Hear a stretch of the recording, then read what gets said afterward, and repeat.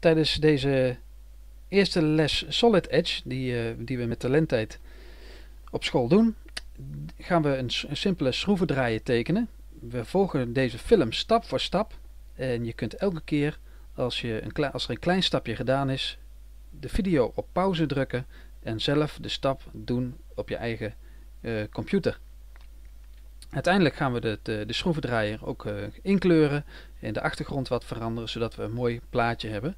Als eerste ga je nu naar het startmenu onderin, links onderin bij Windows, start en zoek je Solid Edge uh, op en dat start je op. We hebben Solid Edge opgestart en dan krijgen we dit startveld. En hierin moeten we gaan aangeven wat voor een soort tekening we willen gaan maken, wat voor soort onderdeel we gaan maken.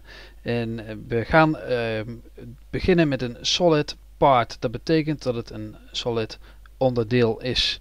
En we gaan die aanklikken en dan gaan we nu stap voor stap doorlopen hoe we de schroevendraaier, hele eenvoudige schroevendraaier, kunnen gaan tekenen. Dan krijgen we dit scherm. Dit is echt het tekenscherm waarin we voorlopig gaan werken. Je ziet hier rechts het blauw. Dit is het tekenvel, de tekenruimte eigenlijk moet ik zeggen, want het is geen, geen vel, het is een ruimte, een driedimensionale ruimte. Je ziet hier een x-as, een y-as en een z-as. Dat betekent dat we drie dimensies hebben. En je ziet hier ook drie vlakken waarop we kunnen tekenen. Van, van waar, waarop we op, het, op de tekening kunnen kijken. Van boven, de top, de zijkant, right, dan kijk je van rechts er tegenaan. En de voorkant, front. In deze drie, op deze drie vlakken kunnen we dus gaan tekenen. En je ziet ze ook, als ik hier aanklik, zie je ze ook links, zie je ze hier ook oplichten. Hier, de drie vlakken. Nou, dit zijn een heleboel knopjes, overal uh, van alles en nog wat. Het is ontzettend veel. Daar gaan we nog even nog niet van alles mee doen. We gaan eerst heel eenvoudig beginnen met het tekenen van het handvat van de schroevendraaier. Als we beginnen met tekenen, beginnen we eerst met het tekenen van een protrusion. En dat is hier het derde knopje. Protrusion staat er. Als je er even op blijft staan, komt er zo'n geel ballonnetje. Staat er protrusion. Die klikken we aan. Als we die aan willen gaan uh, aangeklikt hebben, dan moeten we het vlak gaan aangeven waarin we willen gaan tekenen. Nou, ik wil deze nu eerst in het voorvlak hebben, dus ik klik die aan. Dan verschijnt er het volgende vel en dan krijg je uh, dit hele gebeuren. Nou, het handvat wordt rond en we gaan rond tekenen. Hier kan ik allerlei vormen tekenen. Een cirkel. Ik ga hier een cirkel in tekenen. Ik klik een punt aan en ik kan hem zo groot maken als ik hebben wil. En je ziet dan ook hier diameter of de radius, de straal, ook veranderen. Nou, ik kan nu gewoon wat aanklikken, maar ik kan ook gewoon nu gaan typen. Ik hoef daar niet met mijn muis naartoe. Ik typ gewoon 20 in en je ziet bij diameter 20 staan. Ik druk op enter en ik heb een cirkel van 20 mm getekend. Goed. Nu staat die cirkel zomaar ergens en ik wil hem eigenlijk hier helemaal precies mooi in het midden hebben dat doe ik met deze. Connect. Met Connect gaan we dus kijken waar we hem kunnen koppelen, connecten aan de assen van de, van de vlakken. Nou, ik pak eerst hier het midden. En ik wil ik op deze as hebben. Dan blijft hij dus precies hier in het midden staan. En ik doe dat nog een keer, datzelfde grapje. En dan pak ik hier het midden. En die wil ik precies op deze as hebben. Nu weet ik zeker dat hij precies op het snijpunt van al die vlakken valt. Goed, nu drukken we op return, want nu gaan we er ook diepte aangeven. Kijk, en nu hebben we hem getekend en nu kunnen we ook het handvat ook een lengte geven. Ook hier zie je hier weer bovenin de distance, de afstand verschuiven. En we maken het handvat 100 mm lang. Ik typ gewoon 100 in, druk op enter. En nu kan ik hier, nu klik ik, kan ik er nog die kant of deze kant op. Ik stuur hem zo even schuin naar boven. En ik klik hier één keer. En ik klik nu op finish. Dan is die voorlopig, althans, helemaal klaar. En ik ga meteen door. Uh, we hebben nu het handvat, maar ik wil de stil ook eraan meteen aanmaken. Dus ik maak een nieuwe protrusion. Ik klik weer op het vlak en die wil ik nu niet op het vlak hebben, die wil ik op het begin van de handvat hebben. Zo, kijk. En ik ga nu de stil tekenen. Oh, die is een beetje klein, zie je dat? Die is te klein geworden. Die klik ik nu aan. Hij is 1,3 mm. Dat moeten we niet hebben. Ik wil dat hij uh, 10 mm doorsnede krijgt. Nou, dat is wel erg groot. Uh, 8 mm doorsnede. Oké, dat is me geworden. En natuurlijk ga ik hem weer met connect. Hier het midden. Hier het midden. Hier het midden. Hup, weer precies daar het midden. Nou, dit gaat, uh, dit gaat hem worden. Ik druk hier op return. En ik kan hem ook weer de afstand geven. Ja, en ik wil hem 120 mm lang hebben. Zo is die 120 mm. En zo kan ik op finish drukken. En hij is weer klaar. Als ik nu hier ga kijken en ik in mijn tekenvel en ik druk het muiswieltje in. Dan kan ik een beetje draaien. En dan kan ik hem van alle kanten gaan bekijken. En zo ongeveer is die weer, uh, weer klaar. Goed. Uh, wat ik eerst wil gaan doen. Nou, dat handvat dat is een beetje scherp hier met al die randen. Dus ik wil daar ook, uh, ik wil daar ook ronde kanten aan gaan maken. Nou, dat kan hiermee met een ronde. Ik kan bijvoorbeeld afronden. Dat doe ik voor uh, deze.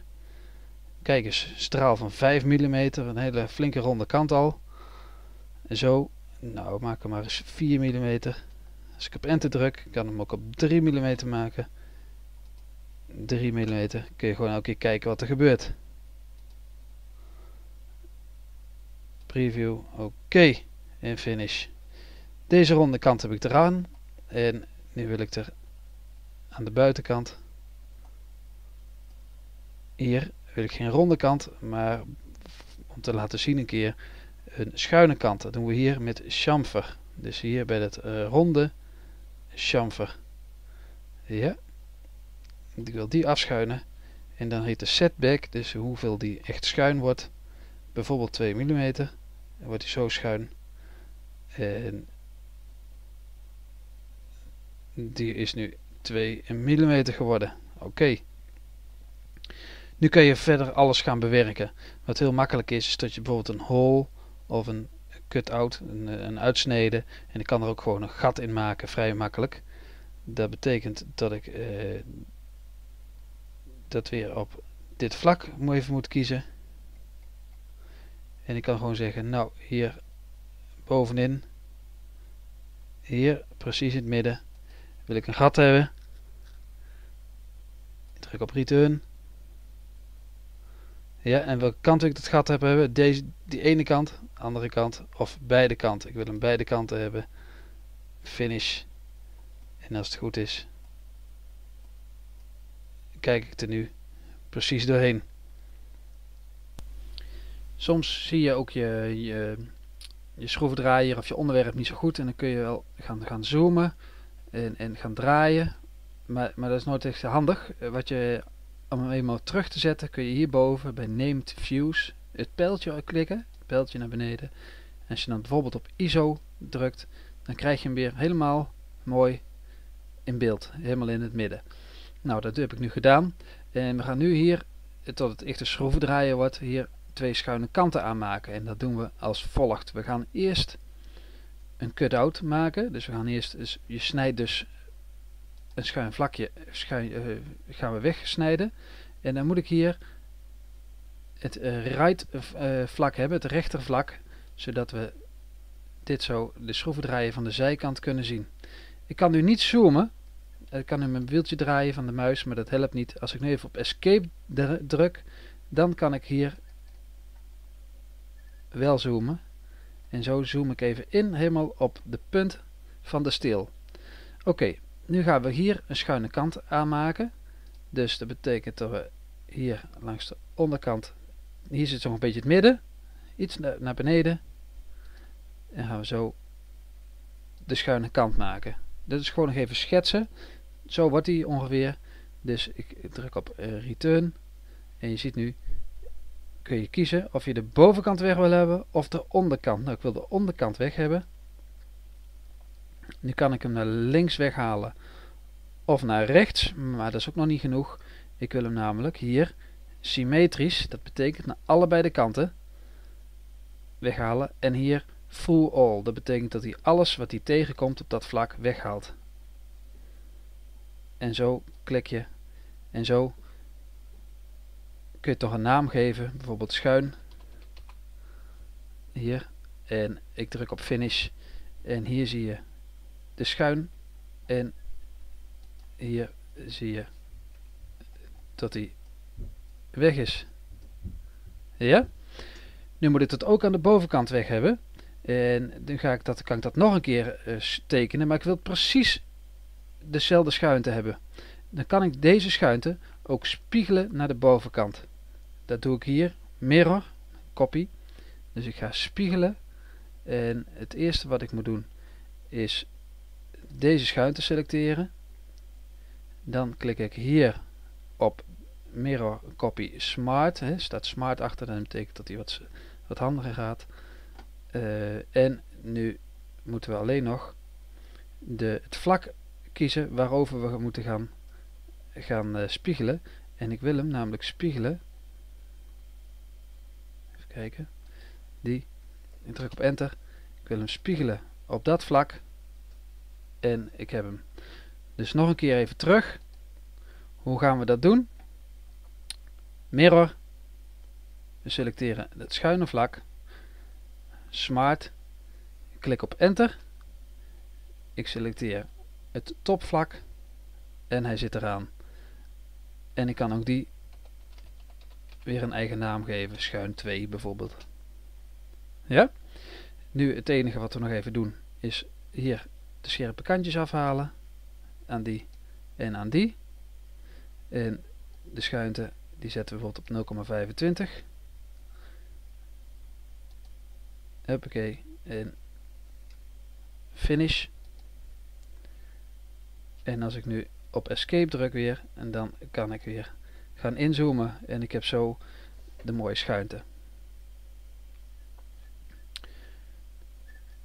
Goed, we hebben nu, uh, we hebben nu de, de schroevendraaier. Het enige wat we nu nog even moeten doen, tot we er een mooi plaatje van maken. En dat doen we hier bij Format en dan Part Painter. Hier verschijnt een nieuw, een nieuw schermpje. En we kunnen er bijvoorbeeld van allerlei uh, kleuren en allerlei soorten gaan, uh, gaan selecteren. Kijk, nu wordt hij helemaal rood. Dat betekent dat alles staat nu aan. En dat wil ik nu niet hebben. Ik wil alleen face. Dus ik wil bijvoorbeeld, ik zet hem even terug trouwens op any. En ik wil alles uh, stiel hebben. Dus dat hij helemaal van metaal lijkt. En ik wil nu het handvat een andere kleur geven. Dus ik zeg nu face bijvoorbeeld oranje. En ik doe maar wat die ook een stuk een ander kleurtje geven. Goed. Zo nu aan jullie de opdracht om hier een paar mooie kleuren aan te geven. En als laatste nog gaan we mooi maken. Zodat hij uh, ook echt een beetje met schaduw en met, uh, met glans erop komt. En nu kun je hier van allerlei dingen in gaan, stellen. Doe niet te veel, maar probeer er maar eens, uh, probeer er maar eens wat mee. Bijvoorbeeld de achtergrond. Nou, die wil ik van donkerrood naar blauw hebben. En je zult zien dat die achtergrond anders wordt. En zo kun je nog van alles doen. Dus weer bij Format, View. En probeer maar eens wat. Hoog. Ja, probeer daar eens wat mee, uh, mee te spelen. En zorg dat je een mooi tekeningetje krijgt. En laat, sla dat dan ook op. En zo heb je de eerste opdracht uh, in Solid Edge gedaan.